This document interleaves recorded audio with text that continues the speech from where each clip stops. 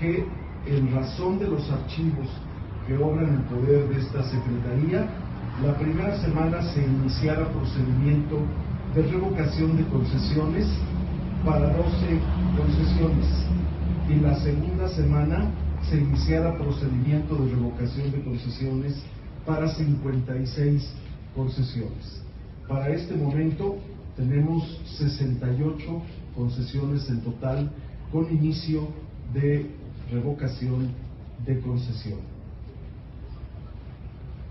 A partir del próximo 4 de marzo iniciaremos el pase de revista para la región de la Mixteca.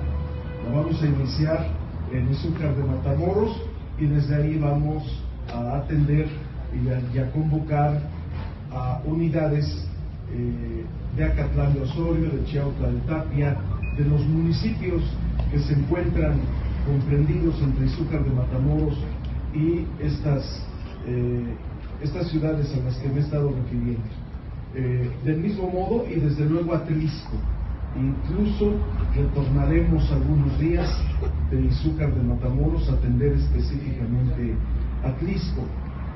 Lo haremos como se ha hecho en Puebla a partir de las 9 de la mañana con unidades programadas en horarios para que no se deje sin transporte público y sin movilidad a la sociedad, pero para poder realizar el trabajo que se, que se ha señalado hasta este momento. en paralelo a esto, al igual que en la ciudad de Puebla, habrá operativos en esta región.